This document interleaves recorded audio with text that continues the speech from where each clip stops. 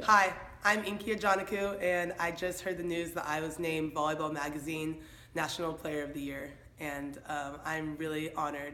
Uh, thank you guys so much. It's been a really crazy year, and I'm really proud of what our team accomplished, and we did it because we trusted each other and believed in each other. Um, I want to thank everybody on my team. I know you guys are having a lot of fun at your homes, and I really miss you all.